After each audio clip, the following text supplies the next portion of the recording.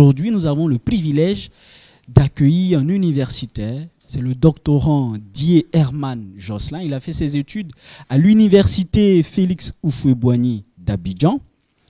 Son domaine de spécialité, c'est la langue, la littérature et la civilisation française. Et dans ce grand champ, il s'intéresse en particulier à l'émergence féminine. Bienvenue, Monsieur Dier. Merci, Monsieur Kwasi, et bonjour à vous. Bonjour. Les téléspectateurs et auditeurs du Salon de la Réflexion sont impatients d'écouter le fruit de vos réflexions, mais avant tout, nous allons vous demander de vous présenter, de nous rappeler brièvement votre parcours. Bien, merci. Euh, donc, euh, comme vous l'avez dit tout à l'heure, je suis Die Herman Jocelyn. J'ai débuté mon parcours scolaire à Dimbokro. Et l'année qui a suivi, mon père a été affecté à Abidjan. Et ben, j'ai commencé donc la classe de CP2 à Abidjan. Et puis, euh, à cause de la circulation intense euh, ici à Abidjan, on a trouvé bon que je puisse aller à l'intérieur du pays. Donc la seconde phase de, cette classe a été faite à Tumodi, où je me suis rendu chez mon oncle, le petit frère de mon père. Et ensuite, l'année qui a suivi encore, mon père a été affecté à nouveau à Daloa. Et ce fut une chance pour moi, parce qu'il était maintenant à l'intérieur du pays. Et je l'ai rejoint donc. Et à Daloa, j'ai fini voilà, mon parcours euh, scolaire, euh, je veux dire complet, c'est-à-dire mon parcours primaire et mon parcours secondaire. Donc, j'ai fait à Daloa euh, la classe de CE1 jusqu'à la classe de terminale, où j'obtiens en 2006 le baccalauréat série A2. Et je suis orienté à l'université de Cocody, à Bijan. Et déjà, nous avions commencé les cours que j'ai été vraiment épaté par les enseignements euh, d'un de nos maîtres, le professeur euh, François Bruno, voilà, qui m'a beaucoup appris. Aujourd'hui, en lettres modernes, je suis doctorant, euh, option littérature française, et parallèlement enseignant de français dans un établissement de la commune de Cocody.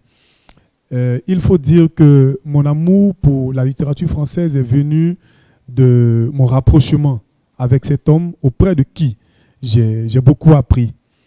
Et il fut un moment où il fallait véritablement mettre en pratique les, acquis. Donc euh, cette acquisition m'a poussé à me tourner vers la vie associative. C'est ainsi que de 2013 à 2015, j'ai occupé le poste de secrétaire à la communication au club UNESCO étudiant de l'université Félix Fouet-Boigny. Et la même année, je suis allé représenter la Côte d'Ivoire à l'extérieur, à Niamey plus précisément, lors du festival scientifique et culturel des clubs UNESCO de l'Afrique de l'Ouest. En 2015, je suis désigné président euh, du comité scientifique du dit festival. Et dès lors, euh, sont euh, succédés, se succèdent donc voilà, les CUPG que nous nommons les comités interuniversitaires de préparation et de gestion. Donc ce sont des, des, moyens de comités de réflexion qui nous permettent de voyager dans les différents pays membres du festival afin de peaufiner déjà le festival à venir voilà, qui va se dérouler dans un autre pays. Et c'est comme ça que la vie associative a commencé à me pousser à la réflexion, à intégrer divers secteurs. Et on, a, on a continué jusqu'à ce que, déjà avec euh, la recherche également qui était déjà en cours, euh, j'ai pu euh, participer à un colloque international qui avait pour thème littérature et émergence des sociétés. Et donc nous avons communiqué et ce qui nous a permis donc de tenir encore quelques relations avec euh, les amoureux des lettres. Et dans cet élan, j'ai pu publier, donc j'ai à mon actif trois articles qui sont publiés et qui se trouvent dans les revues scientifiques. En dehors donc du cadre universitaire, Euh, je possède des certifications dans les domaines des Civitech, dans le domaine euh, de, de la gestion de projets, de l'alphabétisation et de la communication. Aujourd'hui, je suis président de l'ONG Lumière du millénaire alphabétisation et président de l'association des jeunes penseurs de développement en Côte d'Ivoire. Donc, euh, brièvement, euh, me voici présenté. Merci beaucoup, Monsieur Dier. Quel parcours. J'ai eu personnellement le privilège d'avoir accès à votre mémoire de master et par la suite aux articles que vous avez produits. Une chose est notable, c'est l'intérêt que vous portez à l'émergence féminine. Aujourd'hui, on aimerait vous demander qu'entendez-vous par émergence féminine? Euh, Bien. Il faut dire que la notion de l'émergence, à un moment donné, a été répandue. A été répandue et déjà au niveau des années 2010, euh, 2011, on a entendu beaucoup de personnes euh, chez nous-mêmes ici et beaucoup de chefs d'État, je veux dire, parler d'émergence. Donc, la Côte d'Ivoire a programmé son émergence à l'horizon 2020. Le Cameroun a programmé son émergence à l'horizon 2030. Et il fallait donc comprendre euh, la quintessence de la notion de l'émergence. Qu'est-ce que l'émergence en réalité? C'est comme ça que notre curiosité a commencé autour de cette notion. Eh bien, pour parler d'émergence, euh, je veux dire, il faut d'abord faire un détour vers le biotope. Pour pouvoir comprendre, le biotope, c'est le milieu euh, animal, le milieu végétal, voilà, là où on retrouve la flore et la faune. Et c'est un, un milieu qui favorise la survenance d'un phénomène ou d'une nouvelle plante ou d'une nouvelle sémence. Comment la sémence arrive à apparaître? En réalité, c'est ça l'émergence. Donc, comment quitter le biotope pour arriver à observer l'émergence dans notre société Qu'est-ce que l'émergence en réalité? Et on a fait un tour vers le dictionnaire et le dictionnaire va nous donner une définition aussi simple. L'émergence, c'est le simple fait d'apparaître au-dessus ou de sortir de l'eau. S'arrêter donc à cette euh, définition dictionnérique serait un peu limitatif. Alors, il faut se tourner vers les théoriciens de l'émergence. On découvrira alors au nombre des théoriciens les précurseurs John Stuart Mill et Henry Lewis. Ils vont déterminer que l'émergence, c'est-à-dire que la somme est plus que, euh, du moins, la, finalité est plus que la somme des parties. Voilà, donc le tout est plus que la somme des parties. C'est la base donc de l'émergence. À partir de cet instant, ils vont pousser loin euh, la réflexion pour dire, selon Sperry, que pour dire qu'un phénomène est émergent ou un fait est émergent, il faut, on prend une propriété P, que P1 soit survenante, donc la propriété soit survenante. Deux, qu'elle soit systémique. Et trois, qu'elle obéisse à une causalité descendante. Donc voici les trois réquisites de l'émergence. À partir du moment où on a la possibilité de vérifier que ces trois points sont réels, on peut parler maintenant d'émergence. Et là-dessus, je disais tout à l'heure qu'il faut faire un détour vers le biotope pour comprendre ce que c'est que, que l'émergence féminine parce que ça, ça, va éclairer un peu la lanterne de, de chacun. On prend par exemple le cas du papillon. C'est le champion de la métamorphose au niveau de la vie animale.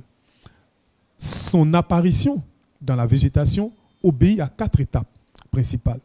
La première, on voit les papillons se mettre en couple, donc s'accoupler, et les œufs sont déposés sur une feuille. Et la couleur de la feuille, euh, le papillon va prendre la couleur de la feuille un peu plus tard. Ça, c'est la première étape. Ensuite, on passe à une seconde étape où euh, le papillon, du moins, pardon, les œufs vont se métamorphoser. Ils se métamorphosent et il y a une troisième étape qu'on appelle l'étape de la chrysalide. Donc, c'est l'étape qui est entre la première que nous venons de citer et l'apparition donc euh, du papillon. Donc, la chrysalide, c'est le cocon dans lequel le papillon se retrouve. Mais étant dans le cocon, le papillon n'apparaît pas. Après, il faut obligatoirement un certain conditionnement de soleil, de la nature, c'est-à-dire du temps. Des conditions sont réunies et qu'elles ne le sont pas, le papillon ne vient pas au monde. Et si ces conditions ne sont pas réunies, il n'y a pas éclosion en réalité. Donc, ce processus-ci, jusqu'à l'apparition du papillon, c'est exactement ce qu'on appelle l'émergence.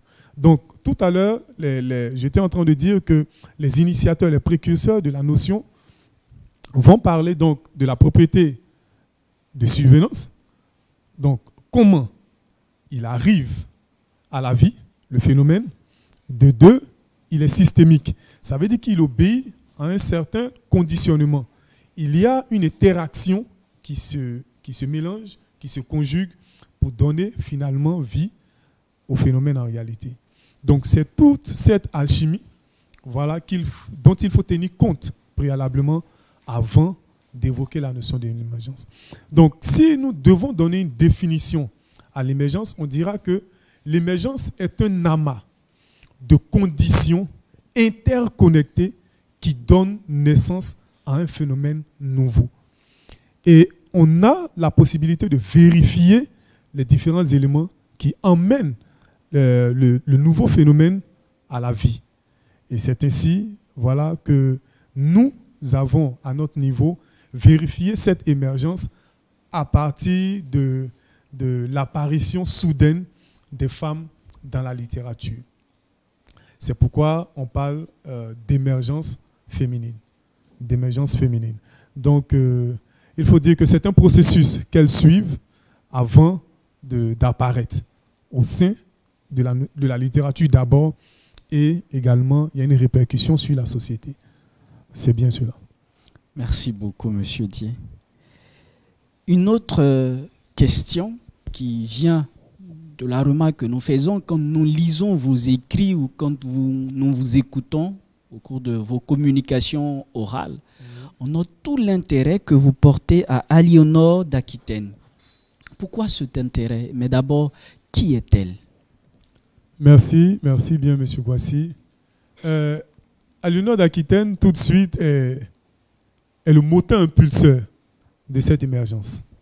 Mais effectivement, il faut dire qui elle est d'où elle vient et qu'est-ce qu'elle a fait pour pouvoir être euh, le point central de, cette émergence.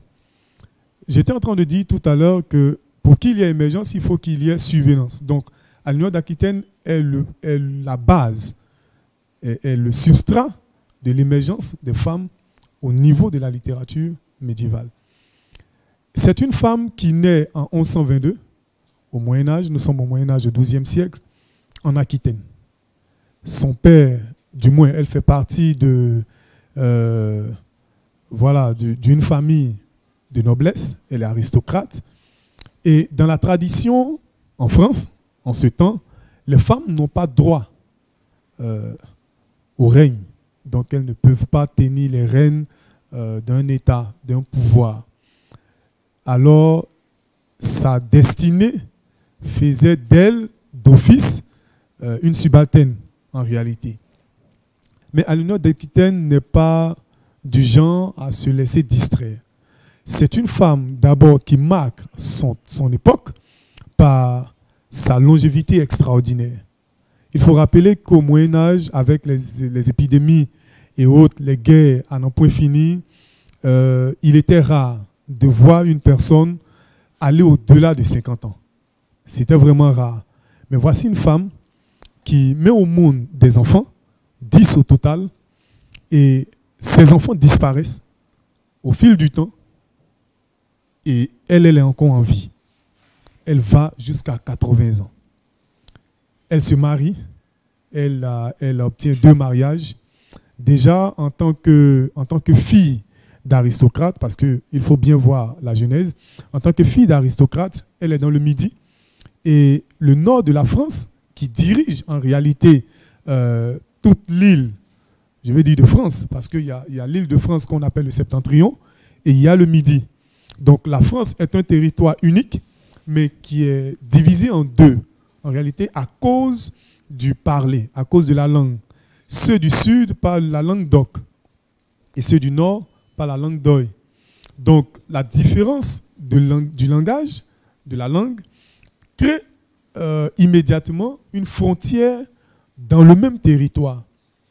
Et qu'est-ce qu'on va constater? C'est que le roi de France est le suzerain, donc le seigneur qui gouverne tout, tout le territoire, et l'autre seigneur qui est en Aquitaine en bas devient donc le vassal du, roi de France. Alors, Aquitaine, dont le père se nomme Guillaume IX, euh, meurt lors d'un voyage qu'il effectuait à Compostelle en, en 1137 et il fait d'elle son héritière. Parce qu'en réalité, elle avait un grand frère, mais celui-ci décide, pardon, il décède. Celui-ci décède euh, à bas âge. Ce qui fait d'elle, d'office, l'héritière du royaume après son père. Et donc, on dira coup du destin, Alignor d'Aquitaine accède au trône de l'Aquitaine, donc de Poitiers, ainsi de suite, et toute cette, euh, euh, région qu'elle gouverne. Et le roi de France, voyant tout l'intérêt qu'il y a à épouser cette jeune fille, va décider donc euh, voilà, d'unir son fils à, la fille, à Léonore en réalité. Donc, étant le souhait également du propre père de feu, le mariage a été vite fait, a été vite réalisé. C'est ainsi qu'elle devient reine de France. Donc, elle quitte l'Aquitaine pour devenir reine de France. Arrivée en France, elle veut imposer sa culture. Parce que là-bas, en Aquitaine, déjà, la légèreté de vie, ainsi de suite, euh, n'est pas conforme avec l'austérité de vie euh, que vivent constamment les Français. Et donc, elle euh, va avoir des disputes constantes avec, son, son, époux, le roi, le roi, le roi Louis VII, et elle lui fait deux filles. Or, il n'est pas admis en France, comme j'étais en train de dire tout à l'heure, qu'une fille puisse accéder au trône. Cette situation met mal à l'aise le roi et la communauté française d'alors. Ils vont commencer déjà à construire beaucoup de, mythes autour d'elle. Elle, n'est pas bonne euh, en tant que reine, elle n'est pas capable de donner euh, un fils au roi qui lui succédera. Donc euh, il faut véritablement trouver quelque chose, un prétexte pour pouvoir se séparer d'elle. Et le prétexte fut tout trouvé. On leur euh, dira qu'ils ont un lien de consanguinité. En temps, avec la loi de l'Église euh, à cette époque, il n'est pas possible que deux parents puissent se marier. Le mariage est brisé et le divorce est prononcé. Chose intéressante avec Aliénor d'Aquitaine, c'est que la même année, 1152, parce qu'elle a passé 15 années de 37 à 52 avec Louis VII, 15 ans après, euh, en 1152, à peine elle divorce du roi de France, elle se marie avec le roi d'Angleterre, qui lui aussi est le vassal du roi de France. Donc il doit lui faire hommage. Et ça, c'est un détail euh, sur lequel on pourra revenir. Mais ce qui est intéressant, c'est que arrivée en Angleterre, cette femme qui n'a pas pu donner d'héritier mâle au roi de France donne cinq garçons au roi d'Angleterre. Et une autre chose encore intéressante, c'est que euh, ces, convictions vont de pair, de connivence avec le roi d'Angleterre. Elle est toute épanouie. Alors, cette dame euh, dont la beauté sera au cœur de tous les écrits euh, en son temps, au XIIe siècle, sera, du moins, je veux dire, la figure emblématique de l'époque qui va rassembler tous les écrivains, les poètes et autres avec, euh, avec l'ensemble des, des, cours. Et puis, elle va favoriser donc euh, cette émergence, mais on va y arriver également tout à l'heure. Donc voici un peu décrit à Léonore d'Aquitaine. En une phrase, je peux dire que Léonore d'Aquitaine est ce que j'appelle une deus ex machina. C'est-à-dire une personnalité, une personne euh, dont on ne s'attendait pas du tout, mais qui apparaît à une période et qui bouleverse tout le système euh, ancestral voilà, qui régit euh, le système politique également de l'époque. Voilà. Quelle histoire fascinante. Alors, cette Aliénor d'Aquitaine, quel est son lien avec l'émergence dont vous parlez? Effectivement, effectivement, euh, il faut dire que en tant que reine de France, d'abord en tant que, euh, je veux dire, princesse en Aquitaine, avant de devenir reine de France, elle a développé euh, une activité qui est le mécénat. Et c'était une affaire de famille parce que dans la famille des Guillaume, son père et son grand-père, Guillaume IX, qui lui fut le premier troubadour euh, connu, selon l'histoire, un amoureux de la poésie et de la, de, la littérature de Languedoc. Elle va, elle va euh, je veux dire, remplacer ses parents. Voilà, donc elle n'a pas perdu la tradition. Alinor d'Aquitaine est amoureuse, elle aussi, de la poésie, de la douce poésie en Languedoc. Et pour ce faire, elle va rassembler déjà tous ceux qui se disent chanteurs, poètes, jongleurs et autres dans la cour de Poitiers, son, domaine. Et dans cette cour, chaque artiste va venir prester, si je peux m'exprimer ainsi, viendra dire ce qu'il sait dire et donc déclamer des poèmes, ainsi de suite. Et c'est à travers donc le mécénat qu'elle met en place, euh, c'est-à-dire l'aide qu'elle apporte aux, artistes, parce qu'il faut souligner aussi une chose, c'est que euh, grâce au mécénat, on a pu avoir aujourd'hui les traces écrites.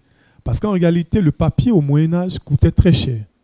Alors, euh, avant le XIIe siècle, toute la littérature médiévale était une littérature orale. Les, artistes, les écrivains chantaient. Alors on aura les ménestrels, les troubadours, les trouvères, ainsi de suite. Et toute cette, euh, toute tout ce groupe, tout ce groupe d'artistes euh, chantait de ville en ville, de village en village. Ils parcouraient des territoires pour, pour dire leurs histoires. Et on aura d'ailleurs la, la chanson de Roland, qui est une œuvre phénoménale au niveau du Moyen Âge. Tout le monde euh, s'en souvient. Et c'est une chanson qui chante les prouesses. C'est un poème qui, qui montre les prouesses voilà, des chevaliers, des guerriers d'antan.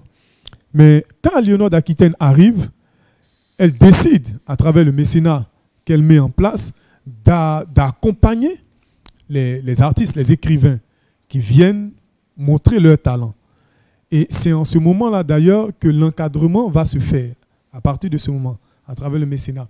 Donc, on accueille l'artiste à la maison, dans le royaume, on le loge, on le nourrit, et on l'accompagne avec un financement. Et c'est ce financement, euh, du moins cette structuration au niveau du mécénat qu'elle met en place, qui va permettre désormais que l'anonymat disparaisse, pour qu'on puisse désormais attribuer un test, un livre à tel artiste. Tel artiste est l'auteur de telle autre œuvre. Voilà, c'est à partir de ce mois, à partir du XIIe siècle, que cela a commencé. Donc, en tant que euh, princesse d'Aquitaine, elle avait déjà commencé cette œuvre. Quand elle arrive en France en 1137 pour se marier avec Louis VII, elle reprend là-bas euh, cette même activité. Seulement que euh, l'activité n'est pas florissante dans le nord de la France.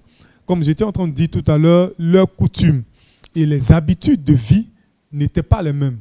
Donc, les, Français du Nord trouvaient beaucoup de légèreté chez les Français du Sud.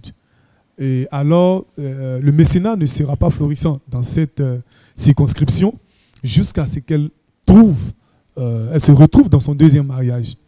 Là-bas, il se trouve que le roi d'Angleterre est favorable à cette manière de faire. Il se met donc en harmonie avec son épouse, la reine Aliénor, et il commence à développer le mécénat. Donc il y a des artistes qui viennent de partout, de partout, vraiment de partout. Elle les reçoit à la cour royale, les nourrit, les loge, ainsi de suite. Et elle commence à faire la promotion donc de la culture littéraire. Et c'est en ce moment qu'on va découvrir tous les premiers artistes, les premiers écrivains que l'histoire de la littérature française nous cite, à savoir Chrétien de Troyes, Marie de France et, tout le staff, et tout le groupe des, des écrivains. Et donc, c'est en cela qu'il y a un lien véritable entre elle et l'émergence féminine qui se produit à cette époque. Et ce lien, le nœud, je veux dire, de ce lien, c'est le, mécénat, le fonctionnement du mécénat qu'elle met en place en vue d'encadrer tous ceux qui savaient dire, mais qui n'avaient pas les moyens de pouvoir mieux s'exprimer. Voilà. Merci beaucoup, Monsieur Dier. Cela va faire bientôt une décennie que vous étudiez la question de l'émergence. Alors, on a envie de vous demander comment arrivez-vous à observer ce phénomène? Quels sont les résultats que vous avez obtenus et que vous souhaitez partager avec nous? Merci, merci, Monsieur Kwasi. Euh, je veux dire, c'est, vraiment intéressant et passionnant de pouvoir faire cette observation. Parce que quand on parle de, euh, de, de, la méthode que les théoriciens donnent déjà, à savoir les trois réquisites, les trois hypothèses qu'il faut vérifier pour dire qu'il y a émergence, on va s'appuyer, nous, à notre niveau, sur deux méthodes principales. D'abord, il y a ce qu'on appelle le sociotope.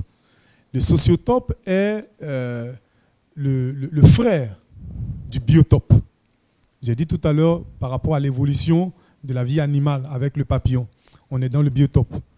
Et le sociotope, c'est le milieu qui régit la vie des hommes. Donc, le processus qu'on regarde chez le papillon, on va essayer de faire exactement la même chose avec les hommes. Donc, pour ce faire, il faut regarder le milieu de vie des hommes, les conditions qui régissent donc la vie humaine en société. Ainsi, on va déjà étudier la relation qu'il y a entre la femme et les institutions de son époque, donc de l'époque médiévale, avec la religion, avec euh, l'économie, avec euh, la vie courante, la vie de maison, ainsi de suite. Et nous allons découvrir par stupéfaction que l'Église, en son temps, qui gouvernait la société médiévale, euh, va donner une position à la femme. Et cette position, c'était, une position de subalterne, parce qu'elle était inféodée en réalité à l'homme. Elle était accusée euh, d'être euh, la responsable de la chute du protoplaste, donc du premier homme. Et à partir du moment où le mythe de la déchéance de, l'homme va courir dans tout le, Moyen Âge, la femme sera donc euh, vue sous un mauvais œil. Et c'est ce qui va conditionner d'ailleurs sa, position au niveau d'abord de la société, mais aussi de la littérature. Alors, dans l'observation que nous faisons avant le XIIe siècle, donc avant Aliénor d'Aquitaine, il n'y a pas d'œuvre écrite par une femme. Il n'y en a pas. La seconde observation donne lieu euh, de ce que dans les œuvres écrites par les hommes, les femmes n'occupent pas le premier rang. C'est-à-dire en tant que personnage, d'ailleurs, il est rare de voir une femme en tant que personnage dans l'œuvre littéraire, mais quand elle est personnage, elle est encore euh, vraiment très loin de l'homme. Voilà, ce sont les hommes qui sont au premier plan, au devant des différentes actions. Si je prends le cas, par exemple, de la chanson de Roland, dont je parlais tout à l'heure, qui est une œuvre cruciale au, niveau des études euh, littéraires, une œuvre importante, euh, il faut dire que le personnage de Haute, qui est le personnage féminin, le seul d'ailleurs qu'on évoque dans l'œuvre, apparaît à la fin d'une œuvre qui fait plus de 5000 vers. Elle apparaît à la fin. Et pour dire quoi? Pour demander où est Roland, à qui elle est promise. C'est-à-dire, c'est en ce moment-là qu'on découvre dans l'œuvre qu'il y a un lien entre elle, Haute, et Roland, qui est le personnage principal. Avant ça, rien du tout. Euh, le roi à qui elle s'adresse lui dit clairement que Roland n'est plus de ce monde parce qu'il est, est, mort au combat. Haute décide alors que si Roland n'existe plus, alors c'est qu'elle ne, vivra, ne vivra plus. Et dans l'œuvre, elle meurt. Elle tombe sur le coup et elle est morte. Donc, il y a une apparition-disparition. C'est-à-dire, à peine on évoque le personnage féminin, qu'elle disparaît immédiatement. Et la plupart des œuvres du Moyen Âge, avant le XIIe siècle, c'était ainsi. La femme apparaît, ne serait-ce que de manière minimale et avec euh, juste quelques paroles, et c'est fini. Mais à partir du XIIe siècle, on verra que grâce au mécénat qu'Aliénor d'Aquitaine met en place, les femmes commencent à s'intéresser également, ou encore, elles étaient intéressées, mais elles commencent à se révéler, parce qu'elles viennent, euh, elles ont un soutien, elles ont un modèle. Aliénor d'Aquitaine apparaît comme le modèle des femmes, parce qu'elle est elle-même cultivée, puisqu'elle a fait les mêmes écoles en tant qu'aristocrate, elle a fait les, mêmes écoles, les mêmes études que les garçons. Parce que, aussi, il faut le rappeler, c'est que euh, les, femmes, les filles et les garçons n'avaient pas droit aux mêmes écoles. Mais Aliénor fait les, mêmes bancs que les écoles. Et donc, son encouragement euh, vis-à-vis des filles, des femmes, va donner vraiment, va intensifier la motivation au niveau des femmes et elles vont s'y intéresser. Donc, on va regarder cette euh, on va observer cette, cette société dans son fonctionnement et découvrir qu'on avait, avant Aliénor d'Aquitaine, une société phallocratique et par ricochet, une littérature phallocratique. Elle était entièrement les mains des hommes. À partir d'Aliénor d'Aquitaine, avec le mécénat qu'elle met en place et toute la structuration autour de la littérature et des cours, euh, les femmes s'intéressent, elles commencent à venir euh, à la littérature et elles produisent de la très bonne littérature, non seulement au niveau du roman, mais également au niveau de la poésie.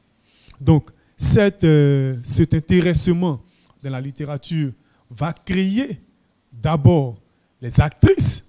Donc, on aura des auteurs femmes qui, elles, à leur tour, vont intégrer dans l'œuvre littéraire des personnages féminins qui ne sont plus en second plan, mais qui, sont, qui deviennent des personnages principaux dans l'œuvre. Et dans le déroulement, donc dans la construction de la production littéraire, ces femmes-là occupent la première place. Elles sont non seulement personnages principaux, mais tout autour, il y a des femmes vraiment partout. Voilà. Donc, on va, on va finalement découvrir que, euh, c'est-à-dire, on a d'abord la première étape, euh, là, où, euh, où il n'y a pas de femmes. On découvre ensuite, avec Aliénor, l'apparition, ou du moins l'encouragement des femmes, et elles apparaissent. Et à partir de leur apparition, elles créent de nouvelles femmes, donc de nouvelles figures féminines dans l'œuvre littéraire. Les, les, résultats donc, que nous obtenons sont les suivantes. À partir du moment où on a désormais des écrivaines, on a des personnages féminins, il y aura une répercussion sur la société. Le modèle qui est donné dans le livre va réjaillir sur la société. Dorénavant, euh, le livre en réalité va emmener une nouvelle manière de vivre dans la société. Et les femmes vont vouloir reconstruire cette, euh, cette manière euh, euh, imaginaire donc, du livre dans la réalité. Et la société va se transformer ainsi. Ce qui fait que l'histoire de la littérature dira qu'à partir du XIIe siècle, on, découvre une renaissance au niveau de la littérature.